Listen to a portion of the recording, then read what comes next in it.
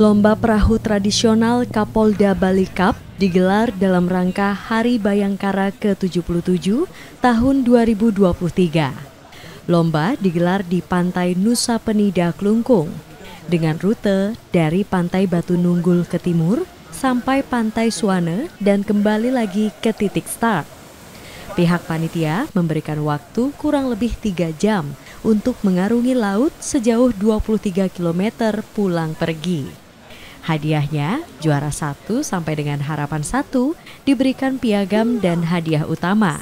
Sementara peserta yang tidak mendapat juara diberikan uang pembinaan. Kapolda Bali Irjen Pol Putu Jayandanu Putra mengatakan, lomba ini adalah rangkaian dari Hari Bayangkara ke-77, di mana lomba sempat ditunda lantaran kondisi cuaca buruk yang tentunya lomba ini adalah untuk mendukung pemerintah menggairahkan pariwisata Nusa Penida.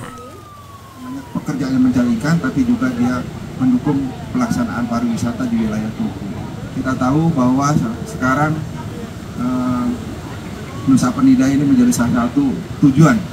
Ya, setiap turis yang ada di Bali ini pasti karena pasti menyempatkan diri ke, ke, ke eh, mana ke Nusa Penida ini Selain mendukung pariwisata, juga memberikan kegiatan lain untuk nelayan yang menunjukkan kelihayannya dalam mengendalikan perahu mereka, berjuang menjadi nomor satu.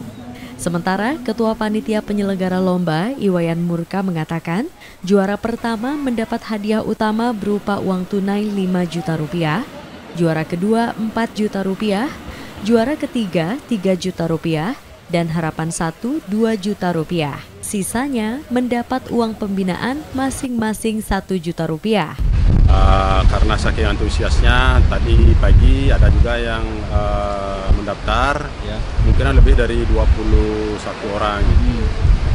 Jadi saat ini sedang. Selain dalam rangka Hari Bayangkara, Murka juga mengajak nelayan untuk senantiasa menjaga alam dan mencari ikan dengan cara alami, sehingga alam Nusa Penida tetap terjaga.